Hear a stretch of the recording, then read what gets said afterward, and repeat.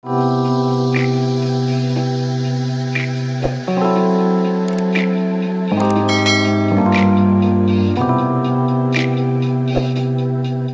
turned to look. I saw a third man attacking me. Somehow his kicks had no effect on me. I was too determined to kill to be stopped. I grabbed him by his leg. I pulled him to the ground. Then I went on top of him as I stabbed him. I hated him for kicking me, so I stabbed him worse than the other two. In fact, I was stabbing him even when he was already dead. I felt different in the dream. Like I had a completely different brain. It was like I had different memories that led to different tendencies. I was another person. I can still feel my deeper anger for him. Then I woke up. Felt dread as I switched on my TV. It was true. Yes, they were stabbed to death in a horse stable. Yes, it did happen. Now I feel worse than ever. It's like I really did it. It's just a dream. Dream. Thermoplay. Take a shower. You will feel better. Oh, you still call me by my full first name? You're the only one who does that. Everyone I know now finds ways of shortening or simplifying it. Maybe because they don't know what inspired it. Go take that shower. Okay, doctor. You're right. It's just a dream. I was ready to stay gloomy all day before I take took a shower. Showers do help. I'm right, am I not? Yes, doctor.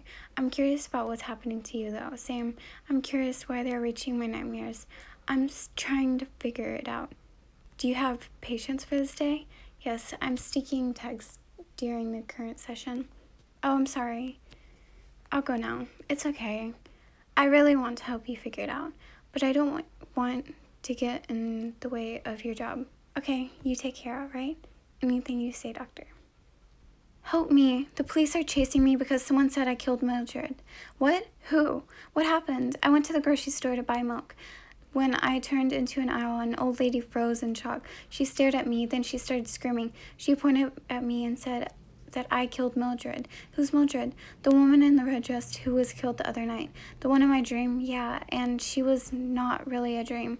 I didn't know her name. Her name was Mildred. I ran out of the grocery store. She was shouting at the cashier to call the police.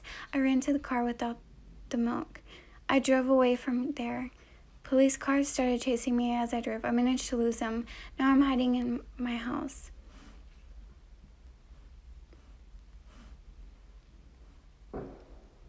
I can't even call you because they could be here at any moment. They'd hear that I'm home. You should have run. You shouldn't have run that could add to your charges against you. You should surrender if they find you. But Dana, I have something I have to tell you something. What is it? I have a bruise on my shoulder right now. It's on the same spot where the man in my dream had kicked me, the third man whom I murdered in that dream. I don't know if this makes sense, but what if I really did it? What if I really murdered all those innocent people in some way, in a way that I don't know? This bruise on my shoulder just really would make explaining myself to the court difficult, especially with that witness around. Oh my god, you really think it's possible that you did it? But I know you wouldn't do that. Yes, but I got a bruise I can't explain. I don't know where it came from. A person who appears to be normal says that I did those crimes. And then the there are nightmares. My nightmares that are exactly like what happened. You and I can both at least attest that I had such nightmares. What else do these facts mean? Innocent or not innocent? You have to surrender because that's what a good person could, would do. God, I wonder what's wrong with me. I no longer know what's real and not real. My nightmares turning out to be possibly real. They're here.